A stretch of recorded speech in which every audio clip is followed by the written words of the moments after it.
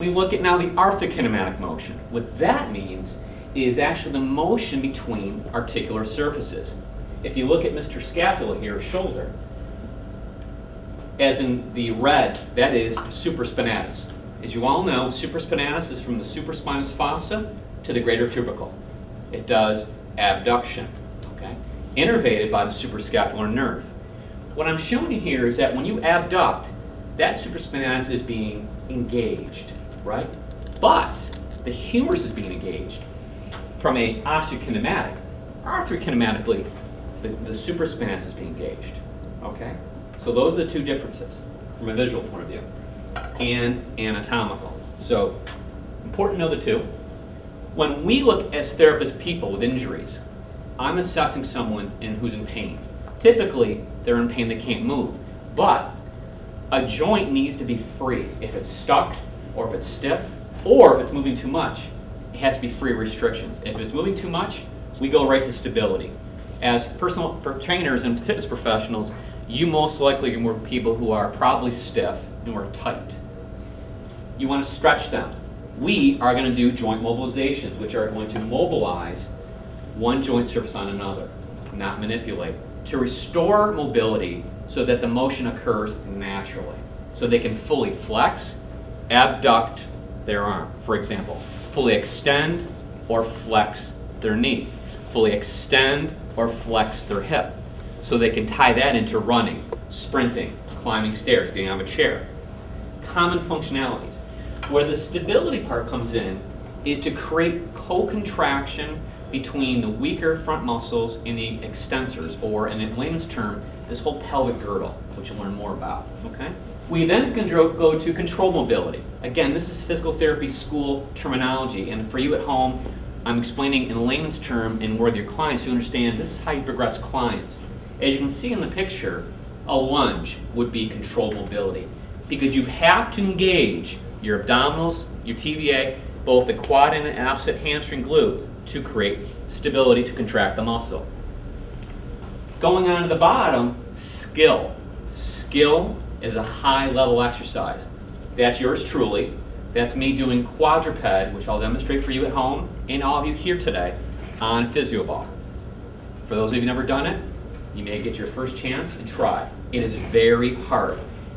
That exercise is dynamic. Great for not truly a Tom Brady, but someone high level, an athlete, of course. I wouldn't put a mom on there or someone who's 65, someone who's got a fear of balance issues. They would fall. So, why is this important? If you think of the body in those motions and movements, we go from mobility to stability to controllability to skill. This is how we train our clients. This is how I train or teach or rehab my patients. If you think like that, it makes this whole training regime in you a better trainer. Okay? Cervical spine, again, rotation, primarily in the upper cervical area, again, the subcranium, which is C1, C2, these areas up here. Again, rotation side bending occurs in the facets. That's number the normal osteokinematic motion that occurs. We look at page 57, which is the spine again. You're looking at the spine. You can see in the picture there, when you bend forward and backwards, there's compression and tension in the lumbar sacral region, with particularly flexion. What's happening to the facets and to the vertebral bodies? And can anyone tell me? What is happening to the vertebral bodies when you flex your spine? Contract. Well, not only contracting, they're moving up. They're flexing. They're, they're, they're opening. They're widening. Okay.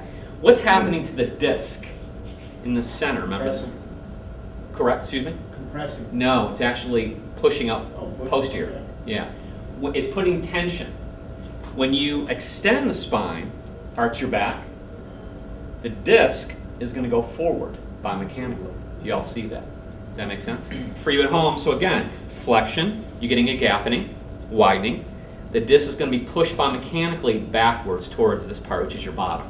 When you extend, there's closure. You can see compression or approximation of the bones that will push the disc forward. Now, what typically happens with back injuries is you get a rotation and side bending, And what that does, see that red thing right there, you at home? That's a disc bulge. That's a disc bulge. Disc injuries typically occur with rotation and side bending. My belief, based on science and research, I don't train anyone, any client, any personal training client, physical therapy client in rotation and side bending because it is a coupled motion.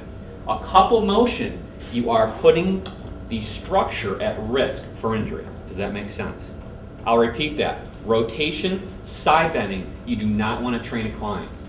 Example would be with a cable, right? A cable. There's no need to do that. But rotation is fine. You can do diagonal, a D1, or pulling down is fine. You're moving in one plane. When you do the couple motion, just like the neck, you're putting the disc in facet for risk for injury. I see that a lot. People lifting fun- something functionally at home on the floor. You can blow a disc or herniate a disc by picking up a pen, a, a paper towel, a handkerchief. It can happen. I've seen it. You don't need to lift heavy weight. It's a fallacy. Okay, so I want to make sure you understood that.